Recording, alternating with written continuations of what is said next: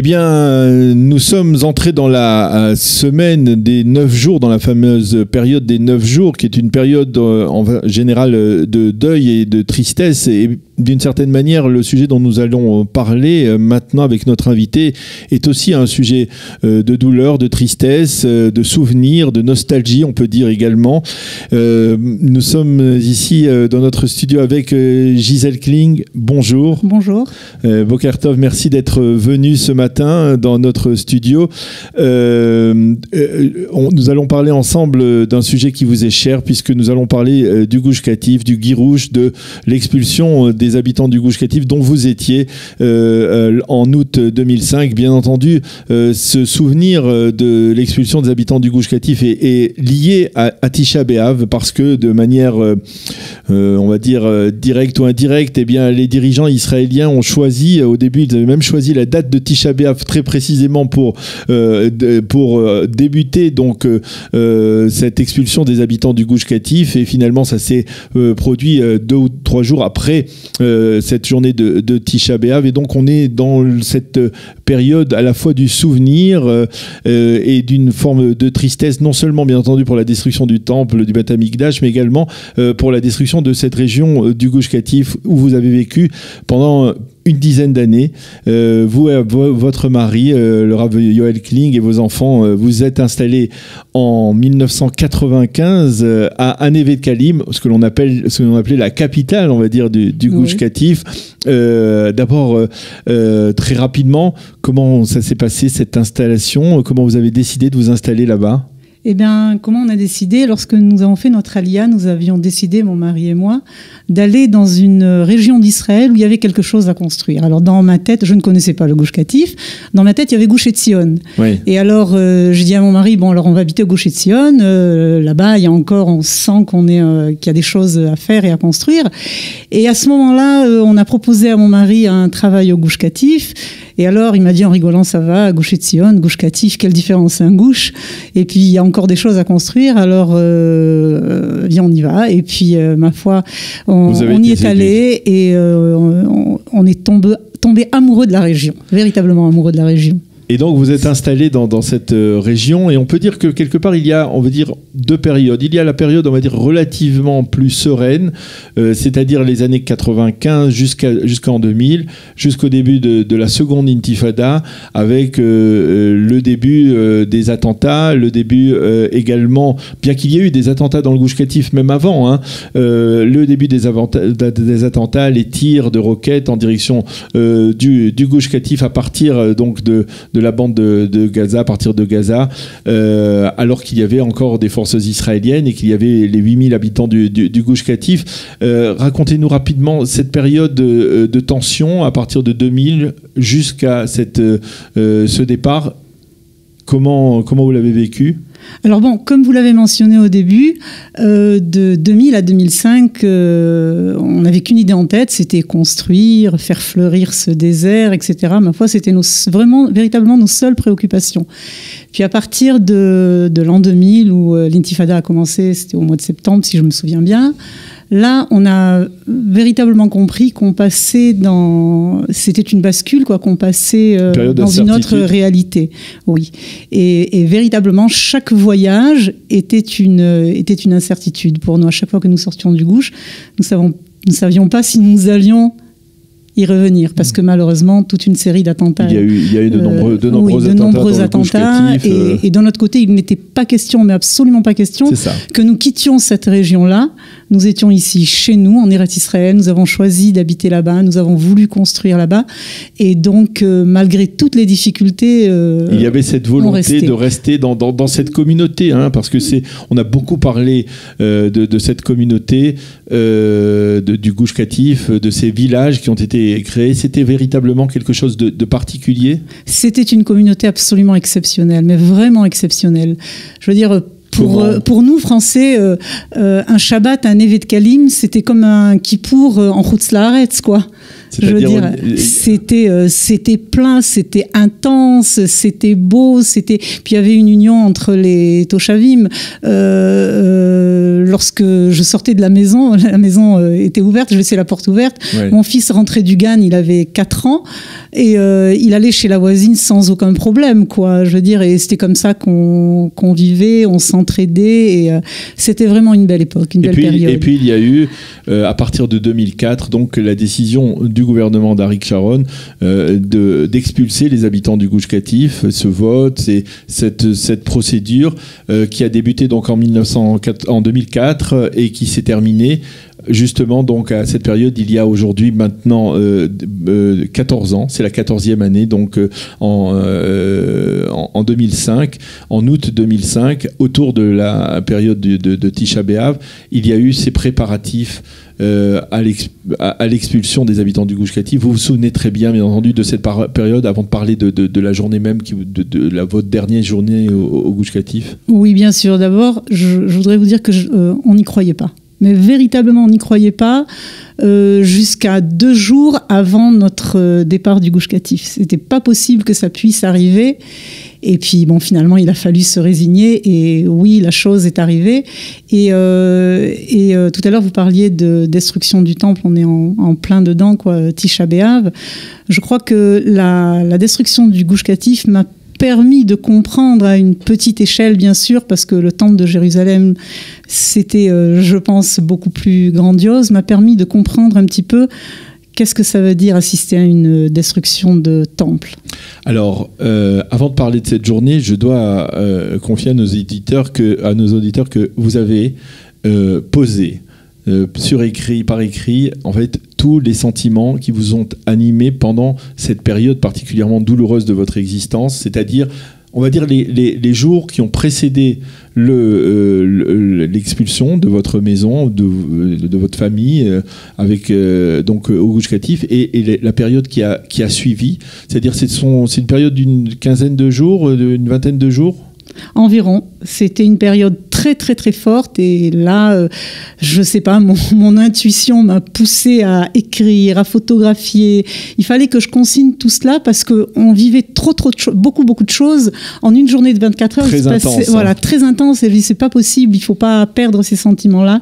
Donc je les mets à l'écrit. Maintenant, je donc vous avez écrit à partir du, du 6 août plus ou moins jusque jusqu'au 20 août, c'est-à-dire après après le après le, le, votre départ, votre expulsion du gouche catif. Et bien entendu, euh, et vous avez posé tout cela sur écrit, et, vous en avez fait un livre euh, avec la contribution euh, d'une journaliste qui a rédigé d'une certaine manière euh, le, texte ou qui l'a amélioré d'une certaine manière. Vous avez rédigé tous ces sentiments et je dois avouer pour avoir survolé cet ouvrage que c'est particulièrement émouvant la manière dont vous racontez à la fois cette arrivée au Gouche Catif, votre vie dans le Gouche Catif et puis cette période particulièrement douloureuse, particulièrement terrible, on va dire, hein, comme les, ces journées que journée de, Tisha B'Av, euh, cette journée du départ, de l'expulsion du Gouche Katif et les journées qui ont, suivi. Qu'est-ce qui euh, vous reste, Gisèle Kling, de, quels sont les souvenirs les plus marquants de cette journée où vous avez été euh, chassé de votre domicile par des soldats de l'armée israélienne? Alors le plus marquant d'abord, c'était le silence dans la rue. Ça, je ne peux pas l'oublier parce que nous étions parmi les dernières, les deux dernières familles euh, à, quitter, euh, à quitter notre rue euh, ce jour-là. Donc ce silence-là, il est ancré dans ma mémoire. et aussi la rencontre avec les Khayalim ce jour-là qui sont venus nous sortir de notre maison. Et alors là, c'était quelque chose de véritablement paradoxal que nous vivions parce que d'un côté, ils étaient là pour nous faire sortir de notre maison. Et de notre côté, ce sont nos frères. Et alors, on a partagé des moments avec eux, un, peu comme dans une famille. Vous savez, quand on, on s'accroche quoi avec euh, avec les frères et qu'on a une discussion comme ça assez vive, c'était un petit peu comme ça. Mais pourquoi vous faites ça, etc. Et donc, et pleurs et euh, pleurs et rires euh, se mélangeaient curieusement ce jour-là.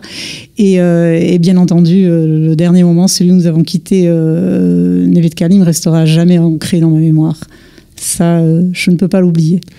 Euh, vous me disiez, euh, avant que nous, nous soyons ensemble dans, dans ce studio, que, que vous avez eu euh, le, le privilège ou la possibilité de retourner dans le Gouche Catif après votre, après votre départ, après votre expulsion, après les journées difficiles qui ont suivi votre expulsion. Vous avez été, euh, et vous racontez cela également dans, dans le livre, c'est très poignant, euh, trimballé, on va dire, un peu partout dans, dans le pays. On ne savait pas où, où vous mettre. Hein. C'est une preuve Oui. que, on va dire, euh, le système, la, la structure mise en place par Ariel Sharon était déficiente euh, dès, ce moment-là.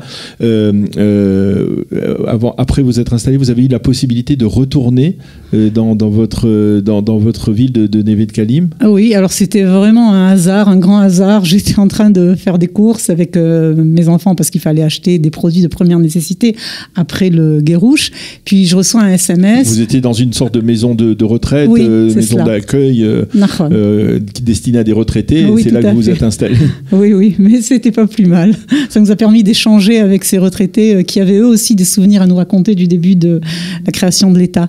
Et donc, euh, ce jour-là, je reçois un SMS qui, qui, qui nous fait savoir qu'un autobus va partir de la Tahana Merkazit pour faire une dernière prière à Neve de Kalim dans les synagogues. Et moi, C'était avant la destruction, parce qu'il y a eu une période, il faut le rappeler, euh, il y a une période entre le, euh, l'expulsion des habitants, des 8000 Oui. habitants, et la destruction des, des maisons, euh, c'est- des, des- pardon, des synagogues. C'est-à-dire que les synagogues sont restées, Voilà. euh, sont restées, euh, n'ont pas été détruites, Mm. euh, et il y a eu donc la possibilité de prier une dernière fois Voilà. dans, les, dans les synagogues. Alors, je vous cache pas que c'était déchirant parce que les synagogues euh, n'étaient pas détruites, mais elles étaient nues. Nues d'un échal, nues d'une parochette, nues de sièges. Et euh, c'est tellement beau une synagogue avec tous ces velours et toutes ces couleurs. Il n'y avait plus rien, c'était que du béton.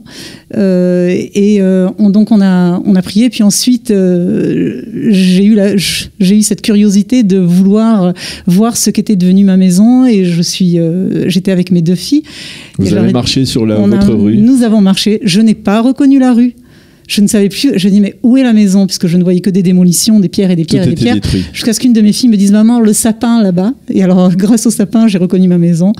J'ai euh, j'ai recueilli quelques débris et euh, en souvenir et, euh, et voilà. Et une nouvelle partie de, de ma vie a commencé.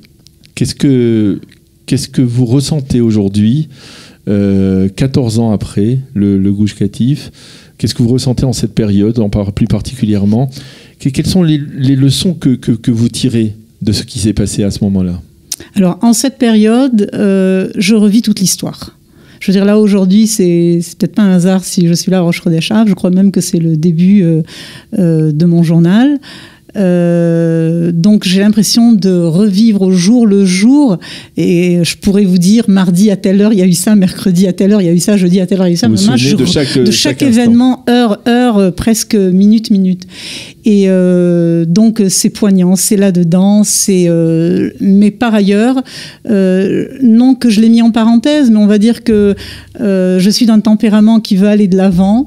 Et euh, donc, euh, je me dis, bon, hier justement, je bavardais avec une, une amie et, euh, et je lui disais, tu sais, j'ai entendu un petit ridouche cette semaine, pourquoi le mot Chaim est, en, Au est, en- pluriel. est au pluriel en ivrite Alors, euh, les, les premiers, la première explication consistera à dire euh, Chaim baolam hazeh, Chaim baolam haba. Mais moi, j'en ai entendu une autre qui me plaît aussi, qui consiste à dire que dans une vie, on peut avoir plusieurs vies. Mhm. Alors j'ai eu ma vie au Gouche Catif et, euh, et aujourd'hui, bon, ben, j'ai ma nouvelle vie à Yad Binyamin.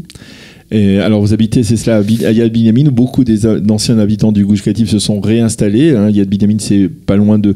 C'est à une trentaine de kilomètres de, de- de- de Jérusalem, Jérusalem. euh, sur la route d'Ashkelon.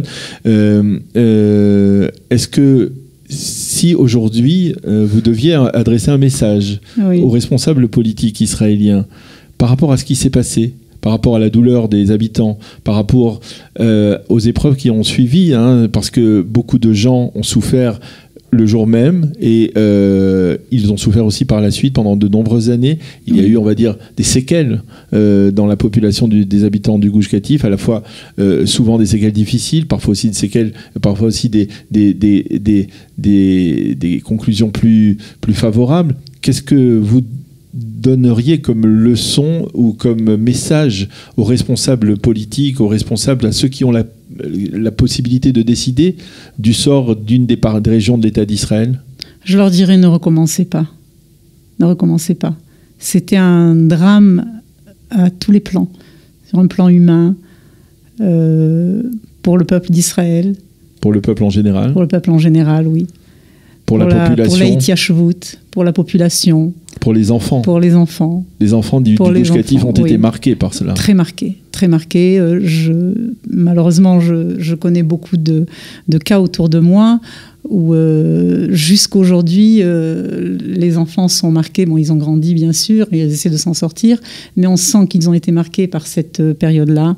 des familles qui n'ont pas encore construit leur maison, qui vivent encore dans des euh, préfabriqués, d'autres qui ont perdu leur travail. Et là, c'est un drame. Et qui n'ont jamais reçu. qui n'ont jamais reçu. Dieu merci, personnellement, nous en sommes sortis. Euh, Baruch Hashem, nous avons reconstruit. Aujourd'hui, euh, nous sommes très heureux à Yad Binyamin, mais euh, la douleur reste quand même présente. Et quelque part, aujourd'hui, il y a euh, le, le gauche reste toujours présent en vous, même si c'est une nouvelle vie que vous avez que vous avez euh, euh, entamée il y a il y a 14 ans et aujourd'hui l'avenir reste toujours dans une nouvelle perspective, mais toujours avec, avec toujours le, souvenir du gauche cette, cette, cette douleur et, ces souvenirs aussi heureux d'une partie de votre vie. C'est clair, c'est très clair, c'est très clair. Je ne sais pas aujourd'hui, pour être honnête, si jamais le gouche nous revenait, je ne sais pas si j'y retournerai parce que nous sommes 15 ans après et parce que je sais aussi pertinemment que ça ne sera jamais, la, même chose.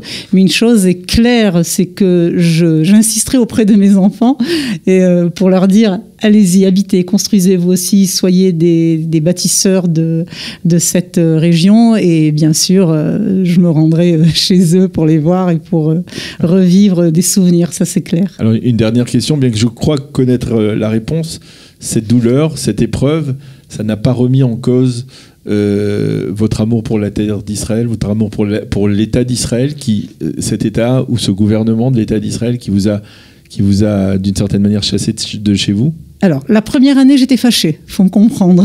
Oui. Je veux dire, on était encore sous le coup de de la colère, de la frustration. On comprenait pas ce qui se passait. Nous, nous sommes venus avec un idéal sioniste depuis la France, et puis on voit qu'en Israël, cet idéal sioniste, on le bafoue. Donc pour nous, c'était très très dur à accepter. Je ne le cache pas. Mais tout de suite après, je veux dire, ah, il m'a fallu un petit peu le temps quoi de digérer toutes ces choses-là. Euh, je me suis fait une raison en me disant mais euh, regarde, regarde, tu es en Eretz Israël, tu continues à construire. Euh, Baruch Hashem, nous sommes là, notre situation est bien meilleure pour nous que pour les Juifs qui sont je pense, partout ailleurs dans le monde. Nous sommes en Israël, donc euh, c'est clair que je n'ai plus, euh, plus de rancœur.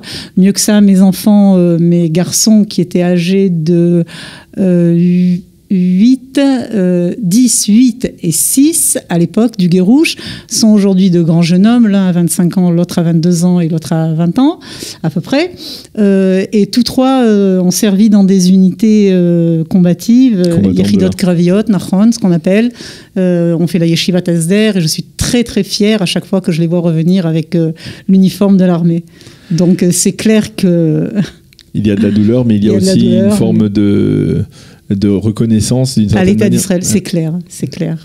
Euh, eh bien, eh bien, Gisèle Kling, merci beaucoup euh, d'être venue témoigner. Je dois euh, rappeler donc le nom de votre ouvrage, des, les petites histoires qui font la grande histoire, mon journal du guérouche, du gouche et vous insistez sur ce terme de guérouche qui signifie, qui signifie expulsion, qui est un terme beaucoup plus fort que le terme d'évacuation, comme on le dit plus généralement dans la presse en général, et, et souligner que mardi, ce mardi, hein, le 6 août, euh, vous donnerez une conférence euh, dans le cadre de la synagogue Oale Tzion, euh, Tzion, pardon, la synagogue, ce que l'on appelle la synagogue des Tunisiens, du, docteur Eric Belaïch, voilà. Rehov Mekor à Jérusalem, Rehov Mekor Chaim à Jérusalem. Donc à 20h, vous allez donner une conférence et vous raconterez de manière bien plus détaillée votre histoire, votre relation d'amour pour cette région du Gouche Katif dans laquelle vous, vous avez vécu 10 années, 10 années heureuses qui sont malheureusement terminées euh, sur la décision du gouvernement.